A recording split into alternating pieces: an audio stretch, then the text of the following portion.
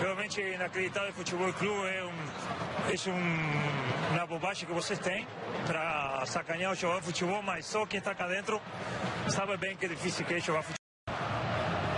Olha o Léo Moura fazendo a infiltração. Ronaldinho tentou o toque. O Léo Moura ganhou. Botou na frente o Leonardo Moura. Olha o David, cruzou para o David.